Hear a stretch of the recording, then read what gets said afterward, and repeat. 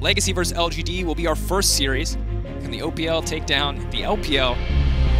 LGD really turned it around from what was a disheartening start to the play-ins.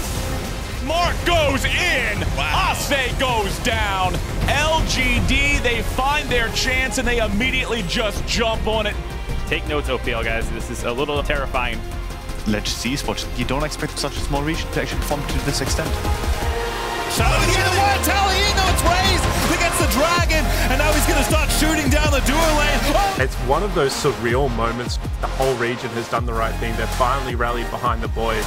If they take down LGD, they're guaranteed the group stage Guaranteed for the first time.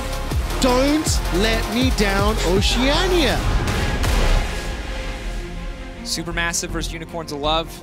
One final shot for the LCL and the TCL to qualify for groups. Big stakes for everyone, but one thing we know is that one of the smaller regions will be making it through. Will it be Turkey?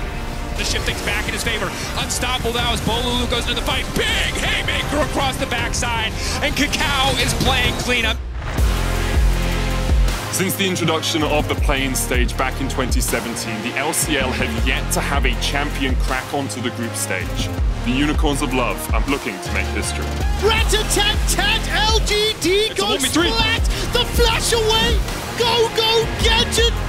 Will they be able to show up when it matters to get over that final hurdle?